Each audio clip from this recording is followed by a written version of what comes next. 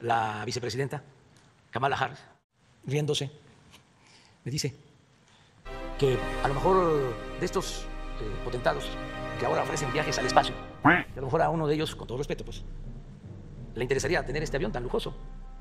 ¿Cuánto cobran por un viaje al espacio? Búsquenlo ahí, para que vean las extravagancias. ¿Cuánto? 500 mil dólares. Un viaje al espacio. Entonces, este, pues vamos a seguirlo ofreciendo. Es este, un avión de muy buena calidad. Lo que pasa que no está hecho para nuestro país, solo para presidentes que viajan mucho al extranjero.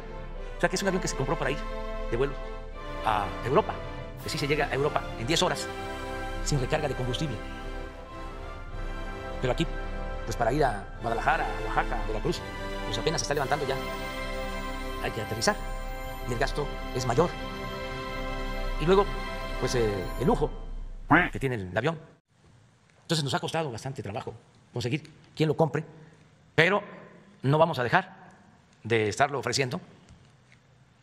Si hay un comprador, eh, yo se lo entregaría.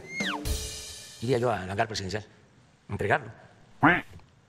Y es un avión que puede eh, ser de mucha utilidad, aunque lo tengamos parado y se le dé mantenimiento, porque se les está dando, está dando mantenimiento constante, ahorramos, porque si lo usáramos nos costaría muchísimo.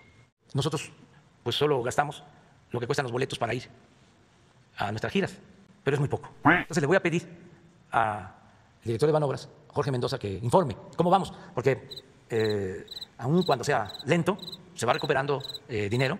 Entonces, estamos ya por terminar de elaborar una reforma administrativa para que todo lo que se confisque con prontitud, con rapidez, de manera expedita, se le entregue a la gente.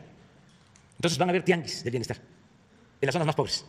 Se va a llevar todo eso para que la gente lo aproveche.